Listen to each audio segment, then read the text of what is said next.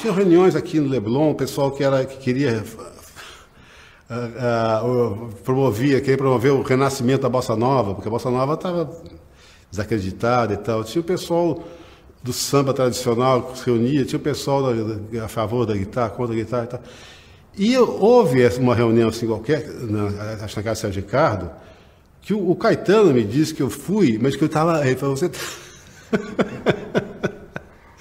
Então, se eu estava lá, provavelmente eu não me lembro, né? Eu não me lembro de nada. Agora, eu fui em algumas reuniões, em várias delas, eu tava, o Caetano me falou, você estava. É.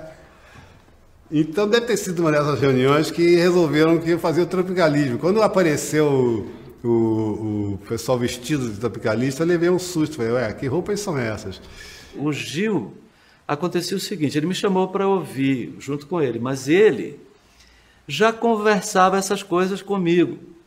Ele até, sob certos aspectos, estava mais é, avançado na, nos projetos de fazer uma mudança da natureza que nós mais ou menos viemos a fazer do que eu. Ele estava mais apaixonado pelo rock moderno do que eu. Ele era, ele sabia tudo dos Beatles, ele aprendia, ouvia demais. Eu ouvia, achava lindo, me interessava, achava instigante, mas eu queria fazer um negócio nós foi dizer, a Jovem Guarda me inspirava mais do que os Beatles.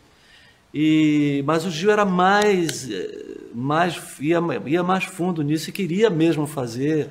Chamou vários amigos nossos, compositores no Rio, antes, para fazer um movimento de, de, sei lá, de inserção da produção de música popular no Brasil no mundo pop contemporâneo e de não temer a realidade do mercado e de ouvir os Beatles. E...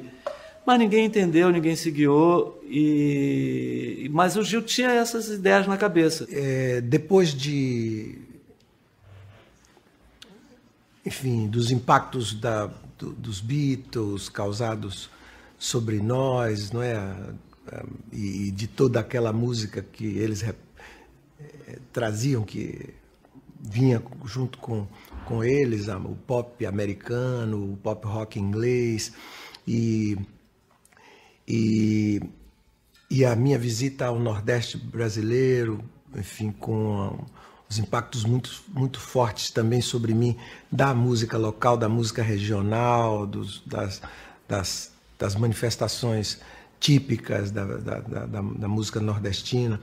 É, tudo isso eh, provocou em mim um desejo muito grande de é, revolver de uma forma mais generosa, mais ampla e mais, mais ousada o terreno todo, revolver o terreno todo. É, arar de novo o terreno, replantar, semear coisas novas, trazer sementes novas, fazer os cultivares híbridos, né? misturar as coisas para dar plantas novas, misturar laranja com, com mamão, o abacateiro que amanhece será tomate, anoitece será mamão, que eu vinha fazer depois no Refazenda. Essa ideia da Refazenda já já estava ali naquilo tudo. Eram os Beatles e Luiz Gonzaga, eram os Rolling Stones e, e, e, e Jorge Benjó. Era a banda de pífaros de Caruaru e, e o Jefferson Airplane.